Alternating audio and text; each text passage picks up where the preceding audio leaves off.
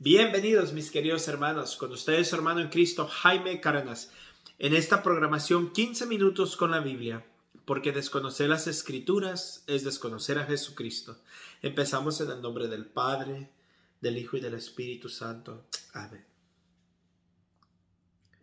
Espíritu Santo, reposa en este lugar. Espíritu Santo, toca nuestra mente, nuestro entendimiento y danos la gracia de entender las escrituras, de confiar en tu palabra, de dejarnos guiar por ella, de dejarnos convertir por ella. Te rogamos, Espíritu Santo, que por medio de la intercesión de nuestra Madre Santísima, nos permitas enamorarnos cada vez más de Jesucristo. En el nombre del Padre, del Hijo y del Espíritu Santo. Pues bien, mis queridos hermanos, vamos a continuar con Efesios capítulo 4. Yo, el prisionero de Cristo, los exhorto pues a que se muestren dignos de la vocación que han recibido. Sean humildes y amables, sean comprensivos y soportense unos a otros con amor. Mantengan entre ustedes lazos de paz y permanezcan unidos en el mismo espíritu un solo cuerpo y un mismo espíritu, pues ustedes han sido llamados a una misma vocación y a una misma esperanza, a un solo Señor, a una sola fe, a un solo bautismo, un solo Dios y Padre de todos, que está por encima de todo, lo penetra todo y está en todo. Cada uno de nosotros ha recibido su talento y Cristo es quien fijó la medida de sus dones para cada uno.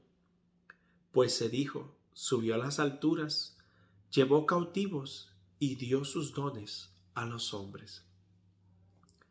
Esto de subió, ¿qué significa? ¿Qué significa sino que bajó al mundo inferior? Él mismo que bajó, subió después por encima de todos los cielos para llenarlo todo. Y dio sus dones. Unos son apóstoles, otros profetas, otros evangelistas, otros pastores, otros maestros. Así prepara a los suyos para las obras del ministerio en vista de la construcción del cuerpo de Cristo, hasta que todos alcancemos la unidad de la fe y el conocimiento del Hijo de Dios y lleguemos a ser el hombre perfecto, con esa madurez que no es otra cosa que la plenitud de Cristo. Entonces no seremos ya niños zarandeados y llevados por cualquier viento de doctrina o invento de personas astutas, expertas en el arte de engañar. Por el contrario, estaremos en la verdad y el amor e iremos creciendo cada vez más para alcanzar aquel que es la cabeza, Cristo. Él hace que el cuerpo crezca con una red de articulaciones que le dan armonía y firmeza tomando en cuenta y valorizando las capacidades de cada uno. Y así el cuerpo se va construyendo en el amor. Les digo pues y con insistencia les advierto en el Señor que no imiten a los paganos, que se mueven por cosas inútiles. Su inteligencia está en tinieblas, su ignorancia y su conciencia ciega los mantiene apartados de la vida de Dios. Después de perder el sentido moral, se han dejado llevar por el libertinaje y buscan con avidez toda clase de inmoralidad. Pero ustedes no aprendieron así a Cristo. Si es que de veras fueron engañados y formados según Él, sabiendo que la verdad está en Jesús. Se les pidió despojarse del hombre viejo al que sus pasiones van destruyendo, pues así era la vida que llevaban y renovarse por el Espíritu desde dentro. Revístanse, pues, por el hombre nuevo, el hombre que según Dios, que Él crea en la verdadera justicia y santidad. Por eso, no más mentiras. Que todos digan la verdad a su prójimo, ya que todos somos parte del mismo cuerpo. Enójense, pero sin pecar. Que el enojo no les dure hasta la puesta del sol, pues de otra manera se daría lugar al demonio. El que robaba, que ya no robe, sino que se fatigue trabajando con sus manos en algo útil y así tendrá algo de qué compartir a los necesitados. No salga de su boca ni una palabra mala, sino la palabra justa y oportuna que hace bien a quien la escucha. No entristezcan el Espíritu Santo de Dios. Este es el sello con el que ustedes fueron marcados y por el que serán reconocidos en el día de la salvación. Arranquen de raíz de entre ustedes disgustos, arrebatos, enojos, gritos, ofensas y toda clase de maldad. Más bien sean buenos y comprensivos unos con otros. Perdónense mutuamente como Dios los perdonó en Cristo.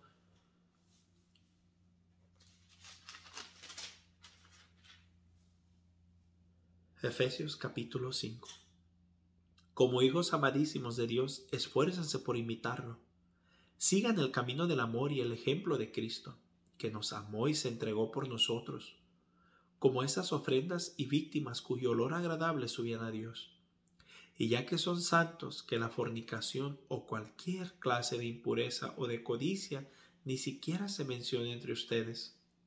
Lo mismo se diga de las palabras vergonzosas, de los disparates y tonterías. Nada de todo eso les conviene, sino más bien dar gracias a Dios sépanlo bien, ni el corrompido, ni el impuro, ni el que se apega al dinero, que es servir a un Dios falso, tendrá parte en el reino de Cristo y de Dios. Que nadie los engañe con razonamientos vacíos, pues son estas cosas las que Dios se, se prepara a condenar en los enemigos de la fe. No sean ustedes no sea que ustedes compartan su suerte. En otro tiempo ustedes eran tinieblas, pero ahora son luz en el Señor. Pórtense como hijos de la luz, con bondad, con justicia y según la verdad, pues esos son los frutos de la luz. Busquen lo que le agrada al Señor. No tomen parte en las obras de las tinieblas donde no hay nada que cosechar, al contrario, denúncienlas. Solo decir lo que esa gente hace escondidas da vergüenza, pero al ser denunciado por la luz se vuelve claro, y lo que se ha aclarado llegará incluso a, a ser luz. Por eso se dice, despierta tú que duermes, levántate de entre los muertos y la luz de Cristo brillará sobre ti. Examinen pues con mucho esmero su conducta. No anden como tontos, sino como hombres sensatos Aprovechen el momento presente porque estos tiempos son malos. Por tanto, no sean irresponsables, sino traten de comprender cuál es la voluntad del Señor. No se emborrachen, pues el vino lleva libertinaje. Más bien llénense del Espíritu. Intercambien salmos, himnos y cánticos espirituales. Que el Señor pueda oír el canto y la música de sus corazones. Den gracias a Dios Padre, nombre de el nombre de Jesucristo Jesús, nuestro Señor, siempre y por todas las cosas. Expresen su respeto a Cristo siendo sumisos los unos a los otros. Sométanse así las esposas a sus maridos como al Señor. El hombre es cabeza de la mujer, como Cristo es cabeza de la iglesia, el cuerpo suyo, del cual asimismo Salvador. Que la esposa pues se someta en todo a su marido, como la iglesia se somete a Cristo. Maridos, amen a sus esposas como Cristo amó la iglesia y se entregó a sí mismo por ella. Y después de bañarla en el agua y la palabra para purificarla, la hizo santa, pues quería darse a sí mismo una iglesia radiante, sin mancha y sin arruga ni nada parecido, sino santa e inmaculada. Así debe también los maridos amar a sus esposas como aman a sus propios cuerpos. Amar a la esposa es amarse a sí mismo. Y nadie aborrece su cuerpo. Al contrario, lo alimenta y lo cuida. Y eso es justamente lo que Cristo hace por la iglesia, pues nosotros somos miembros de su cuerpo. La escritura dice, por eso dejará el hombre a su padre y a su madre para unirse con su esposa, y los dos formarán un solo ser. Es este un misterio muy grande, pues lo refiero a Cristo y a la iglesia. En cuanto a ustedes, cada uno ame a su esposa como a sí mismo, y la mujer, a su vez, respete a su marido. Palabra de Dios. Te alabamos, Señor. Pues bien, mis hermanos, hay muchos puntos, así que vamos al punto. A capítulo 4, versículos 3 en adelante. Mantengan entre ustedes lazos de paz y permanezcan unidos en el mismo espíritu. Un solo cuerpo, un mismo espíritu. Pues ustedes han sido llamados a una misma vocación y a una misma esperanza. Hay un solo Señor, una sola fe, un solo bautismo, un solo Dios y Padre de todos, que está por encima de todos y lo penetra todos en todo.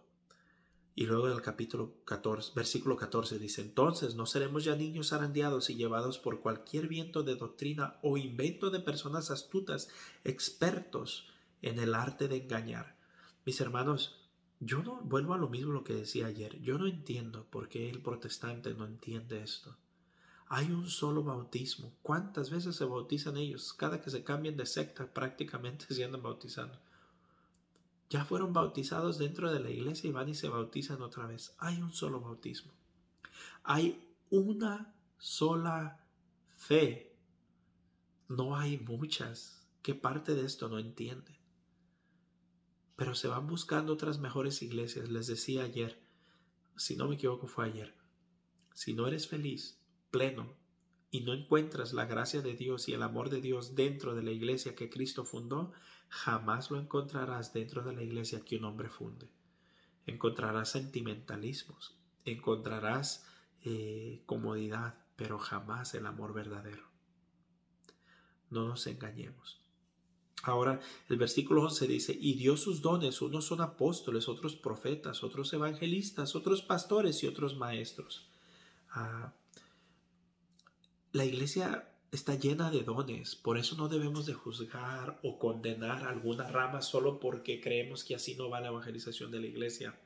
Eh, a veces ah, me ha tocado ver eh, sacerdotes o, laicos que están en contra de la apologética, no la quieren y la rechazan, que porque según la iglesia no lleva esa, esa doctrina ahorita. La iglesia, en la iglesia hay muchos dones.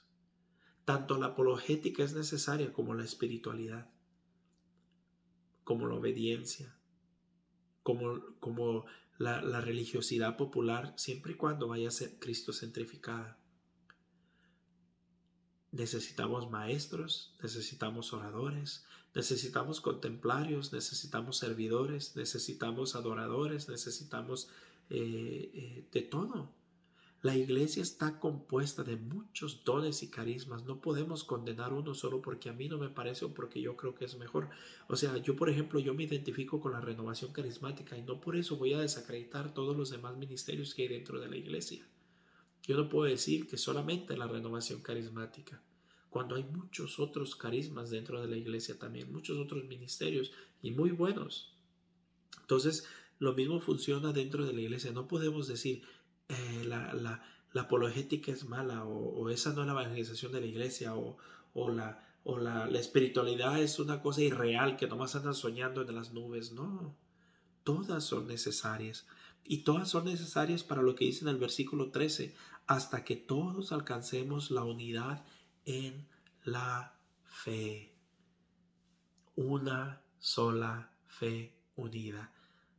No nos dejemos engañar con la mentira de Satanás y la idiotez más grande que todas las religiones son iguales. Porque eso es solo un idiota puede creer eso. No todas las religiones son iguales. Vuelvo a lo que les he dicho desde antes. Si fueran iguales, entonces ¿para qué se van? Si es igual, entonces ¿para qué te vas? No tiene caso que te vayas. Si te fuiste es porque encontraste algo allá que según tú nunca lo encontraste acá. Entonces no digas que es igual, por lo menos no sean mentirosos, sean coherentes con lo que enseñan. Entonces, eso es lo que nos está pidiendo aquí. Nos dice que tengamos cuidado y que no nos dejemos llevar por cualquier viento de, lo, de doctrina.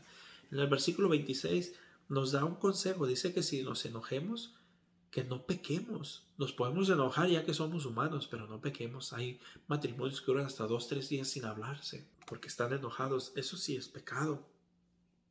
El, capítulo 5, versículo 5 dice, sépanlo bien, ni el corrupto, ni el impuro, ni el que se apega al dinero, que es servir a un Dios falso, tendrá parte en el reino de Cristo y de Dios.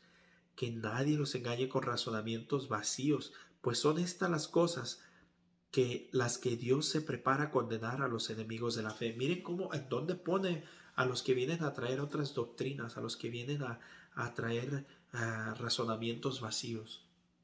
Los pone como enemigos de la fe. Mis hermanos, aquí menciona otra cosa, el apego al dinero. Mucho cuidado con estar apegado al dinero. Hay tanta gente que se apega tanto al dinero que es lo único que tienen. Y el estar apegado al dinero es ser enemigo de la fe y adorar a un Dios falso. Mucho cuidado. Eh, la última parte, ya, eh, esta sí está bastante larga y por el tiempo pues ya no lo, voy a, no lo voy a profundizar todo, pero está hablando aquí cómo le dice al hombre y a la mujer. La, iglesia, la, gente piensa que la iglesia es, es machista y que, y que la Biblia es machista porque dice en el versículo 23, el hombre es cabeza de la mujer como Cristo es cabeza de la iglesia, cuerpo suyo, del cual asimismo Salvador. Que la esposa pues se someta en todo a su marido, como la iglesia se somete a Cristo. Entonces a las mujeres no les gusta eso. No, yo cómo me voy a someter, yo soy libre, yo tengo mis sueños, yo tengo mis planes. Vamos a ver, ¿qué es más difícil? ¿Someterte en todo a tu marido o lo que Cristo nos pide a nosotros como esposos, maridos?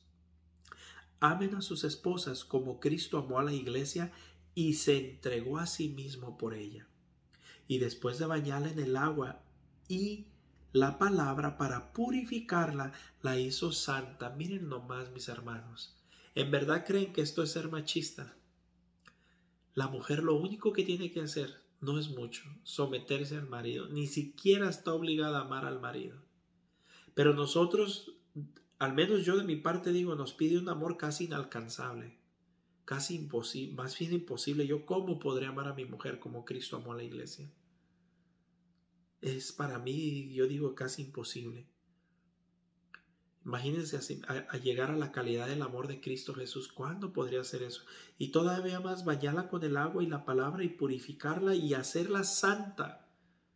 Dice, la hizo santa, pues quería darse a sí mismo una iglesia radiante y sin mancha y ni arruga ni nada parecido, sino santa e inmaculada. Miren nomás qué hermoso Jesucristo se habla de la iglesia. ¿Y qué dicen los protestantes? O no todos, pero muchos protestantes, que la iglesia es la gran ramera y la gran prostituta. Jesús la llama santa e inmaculada. ¿A quién le haremos caso? ¿Al protestante o a Cristo?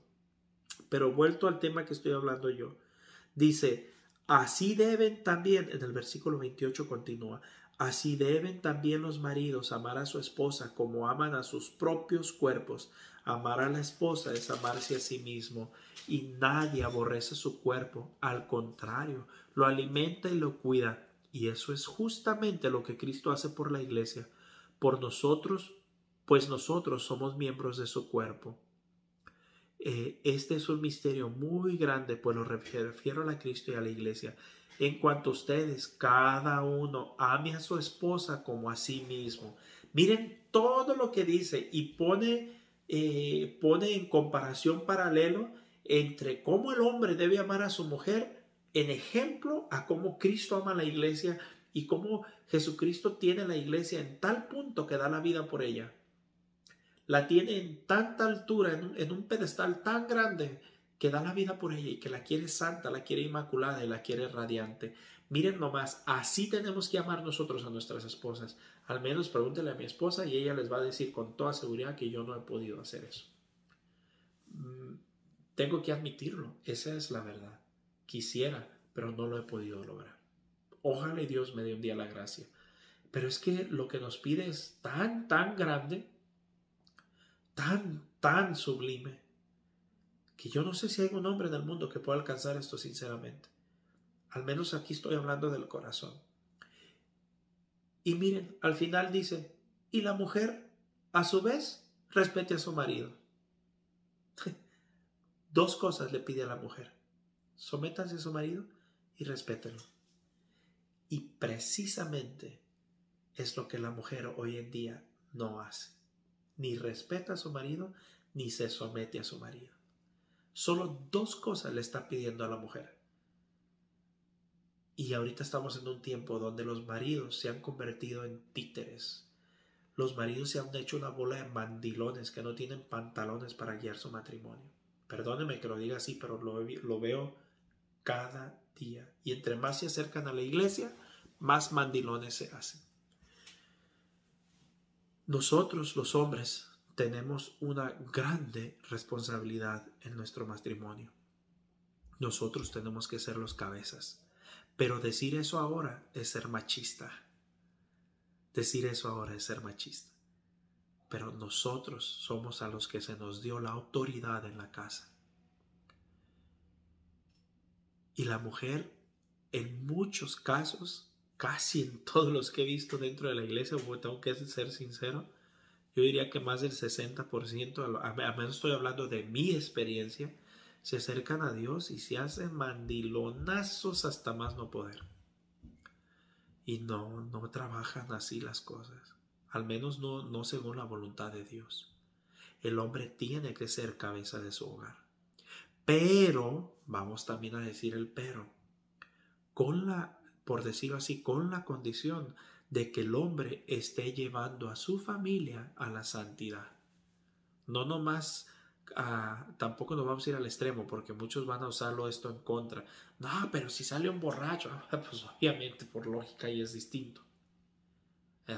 Pero yo estoy hablando de lo que yo conozco dentro de la iglesia. Se meten a la iglesia y se hacen mandilonazos. Eso no debe de pasar.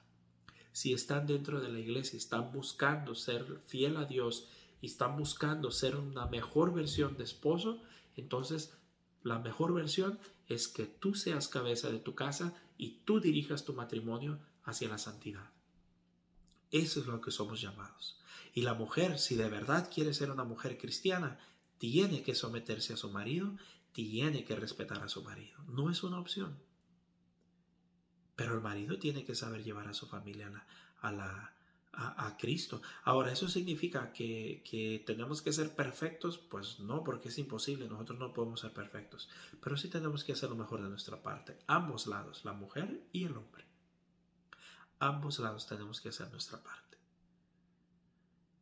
Hombre, recupera tu identidad de hombre. El estar dentro de la iglesia no tienes que ser un mandilón. No se tiene que ser un mandilón tenemos que ser líderes en nuestra casa y las decisiones tienen que salir de nosotros. Sí, podemos hablar con la mujer, escuchar sus consejos, tomarlas en cuenta, claro que sí, eh, dialogar todo, pero al final de cuentas, por ley divina, es tu deber y tu derecho de tú hacer las decisiones en casa. Pero esas decisiones que llevan el bien a tu familia en general, pero sobre todo a la santidad. Mis hermanos, un fuerte abrazo, Dios los bendiga. Sé que algunos se van a sacudir por esto, pero yo no lo digo, lo dicen las Sagradas Escrituras. Que ahora hay muchos que quieren predicar otra cosa, bueno, pero en la Biblia no está. Dios los bendiga y un fuerte abrazo.